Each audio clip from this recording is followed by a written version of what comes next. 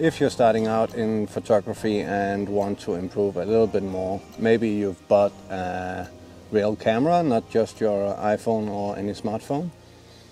Try not to listen too much to those professional and elder photographers who probably will tell you that if you don't shoot in manual mode, you're not a photographer.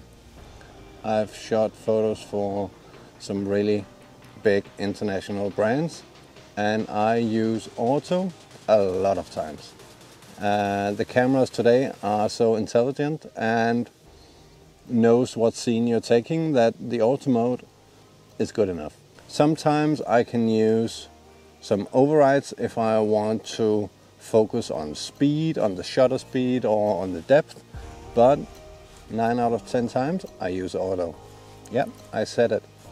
Another tip is trying to experiment a little bit with editing. Now I'm not talking about Photoshop or Lightroom, but your iPhone or whatever smartphone you have has some basic editing features. And that could be your highlights, your shadows, the mood of the colors, the contrast, uh, or just even crop. It has a huge impact on your photography and can really make a big difference. Experiment by getting low, getting high, different angles, using the foreground to give some sort of framing not just to stand up, take the photo, and then you're done.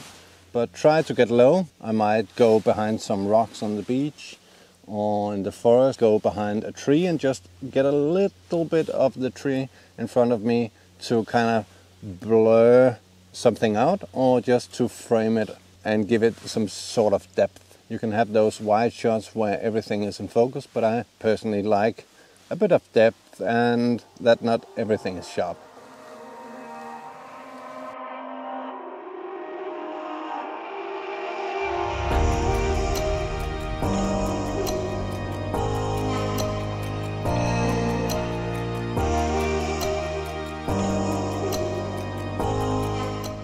Hvad skal jeg sige? Jeg må bare øve mig lidt først. Get out, dress up, get out, shoot a lot of photos, practice, practice, practice. You can get some of the best shots in moody weather, like rain, snowstorm, if it's fog. It's just amazing. You just have to go out, practice, and even if you don't get some amazing photographs, you have learned something new. So get out, I promise you, you won't regret it. Done.